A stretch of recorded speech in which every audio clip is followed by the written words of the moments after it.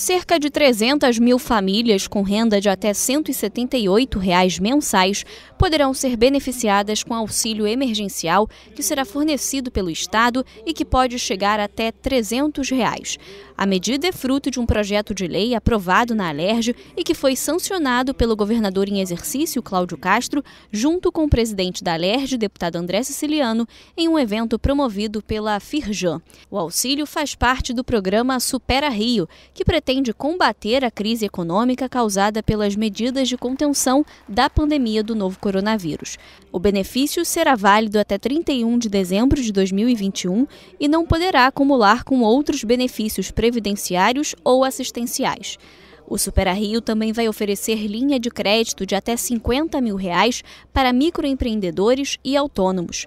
O valor deverá ser pago em até 60 meses, tendo uma carência mínima de 6 a 12 meses, e a concessão será feita pela Agência Estadual de Fomento, a AGE Rio. O presidente da Alerj, deputado André Siciliano, explicou como serão custeadas as ações do Supera Rio, que contará com recursos de fundos estaduais, como o Fundo de Combate à Pobreza e o Repetro. Da onde vem os recursos? Nós temos o Fundo Estadual de Combate à Pobreza. Esse ano vai arrecadar mais de 5 bi e 500 milhões. Se nós tirarmos 30% desse fundo, nós teremos um bi e meio. Nós vamos é, remanejar esses recursos.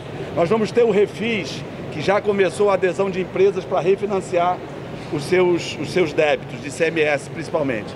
E a gente acredita que a gente pode ter ali mais um bilhão de reais é, do Refis já partir dos próximos 45 dias. Uma das exigências do programa Supera Rio é a transparência da utilização dos recursos. Para isso, o governador Cláudio Castro informou que está sendo montada uma comissão que vai analisar os custeios do auxílio emergencial, além de criar uma plataforma com informações dos beneficiários. Essa comissão ela vai analisar todos os aspectos do auxílio emergencial. Ela vai pegar quanto tem em cada, em cada fundo, vai ver quanto a gente vai desvincular de cada, de cada fundo. É, ela vai tratar também sobre a questão dos, dos cadastros das, das pessoas. Eu determinei que fosse criado uma plataforma, um site, um, um aplicativo, onde todos esses gastos sejam real time, que a gente tem em tempo real, para que toda a imprensa possa, possa saber o que está gastando, quantas pessoas, pessoas foram.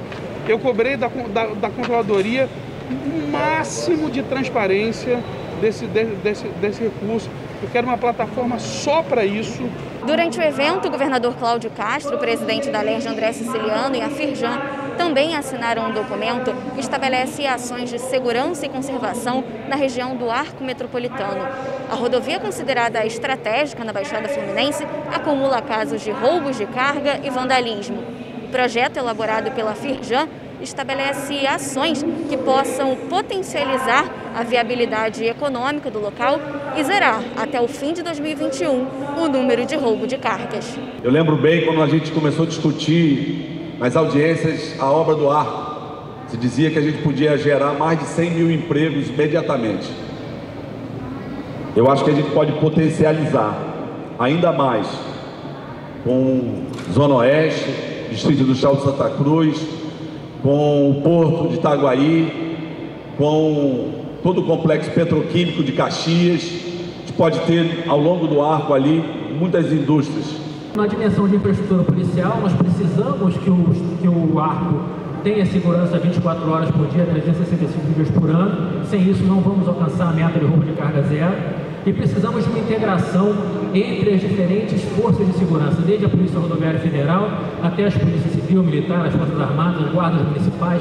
É necessário o esforço de todos para que o projeto seja vitorioso. O arco metropolitano liga os municípios de Itaboraí e Itaguaí e tem 145 quilômetros de extensão, atravessando oito municípios da Baixada Fluminense.